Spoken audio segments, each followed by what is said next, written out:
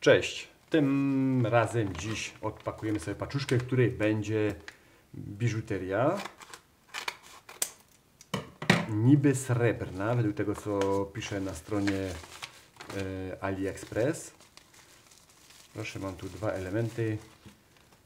E, próba deklarowana to jest 925, czyli srebra jest na poziomie 92,5%. Powinno być przynajmniej.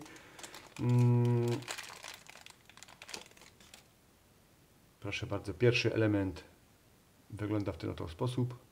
Całkiem, całkiem ładne to jest.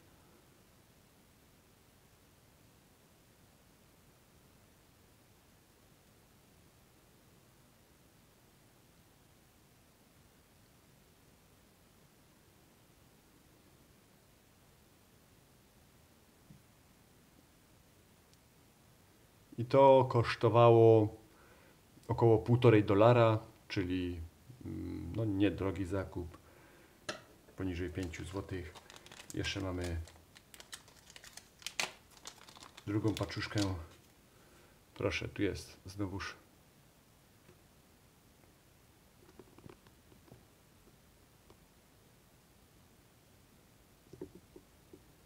no, taki elemencik.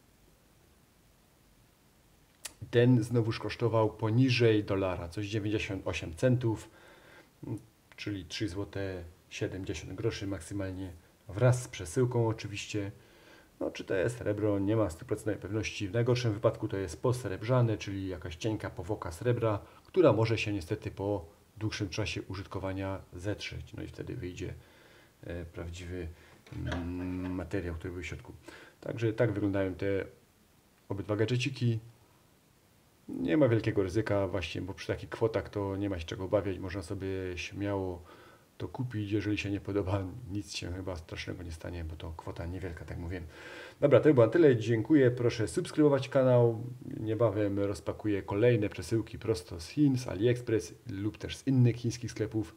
Mm, Będziemy oceniać, co warto, co nie warto. A na blogu zakupowym oczywiście często re- recenzuję po jakimś czasie te zakupione towary.